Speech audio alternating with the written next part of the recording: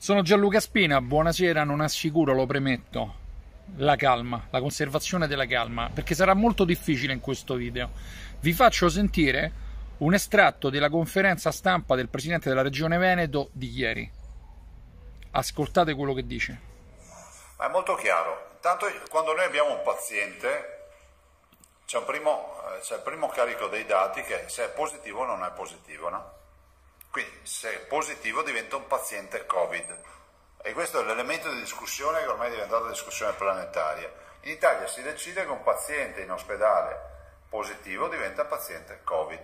Poi... In questa prima parte dice una cosa che sembra corretta. Dice che se in Italia le linee guida dicono che se un paziente entra in ospedale ed è positivo al Covid, è statisticamente un paziente Covid.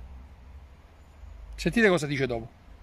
Poi magari è lì per altre patologie, no? Abbiamo fatto l'esempio de, de, della bimba piuttosto che dell'infartuato. Quindi il timbro di fabbrica la, te lo dà la positività. A quel punto il paziente, se, se, se nella sua evoluzione della sua malattia ha negatività, resta comunque un paziente Covid per le statistiche, quindi se perde la vita andrà nella contabilità del paziente Covid che ha perso la vita. È un assurdo, ma oggi si ragiona così. Se nel frattempo ha un'altra patologia e si negativizza la sua positività al Covid, per le statistiche resta Covid e dice è assurdo, ma è così. Andiamo avanti perché mica è finita. Però il paziente positivo asintomatico, che che è tranquillo a casa, che è asintomatico in isolamento fiduciario, fa un infarto, mi entra in terapia intensiva, per me diventa un paziente Covid in terapia intensiva, che è esattamente un esempio che vi ho descritto, che esiste. È dura. Il paziente positivo asintomatico che sta a casa, gli viene un infarto, va in ospedale in terapia intensiva, quello è un paziente Covid in terapia intensiva. Andiamo avanti, non è finita, eh? Ma guardate, allora, stiamo parlando, allora, noi stiamo parlando dei numeri quando sono, i numeri sono veramente crudi, no? Questa riflessione che tu fai è una riflessione di natura clinica che nessuno sui numeri fa. Cioè noi non abbiamo la discriminante che c'è qualcuno che si prende la cartella clinica e dice sì, no, questa patologia l'ha sviluppata perché essendo stato positivo, cioè, guardate, il tema è uno solo, il tampone.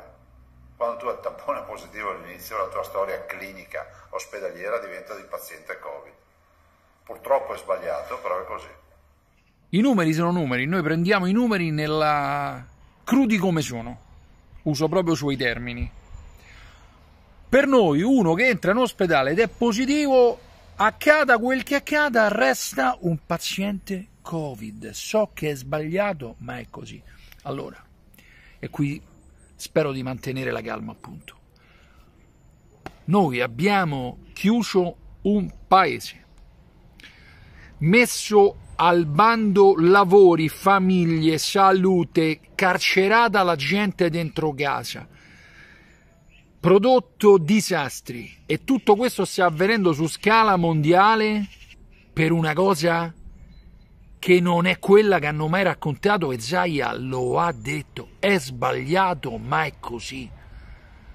Cioè io dico dove cazzo sta la magistratura? La magistratura davanti a questo mio video deve scattare perché esistono i reati procedibili d'ufficio Qui abbiamo dei delinquenti seriali che agiscono in virtù di linee guida sbagliate ammesse di, da loro stessi, il loro, il loro errore, il loro stare nell'errore è ammesso da loro stessi e la magistratura dorme, dorme. Quando facevo il poliziotto, l'ispettore di polizia, mi ricordo che ricevetti un insegnamento importante da una vicenda. Quando una persona delinque, si dà delle giustificazioni plausibili del suo delinquere. Arrestai un rapinatore che aveva che riteneva nobile la propria azione perché era corretto vendicarsi nei confronti di una banca che gli aveva pignorato l'attività per rientrare dei debiti che lui stesso aveva, lui stesso aveva prodotto con il gioco d'azzardo e aveva deciso da quel giorno di rapinare esattamente quell'istituto tutti i giorni e lo rapinava armato. Se l'era scelto senza guardia giurata proprio per non rischiare di dover sparare, ma una volta fece una rapina a una banca di fronte a un istituto bancario con guardia che sparò e lui sparò contro senza prenderlo, ma da lì scattarono le ricerche e fu arrestato. Appunto.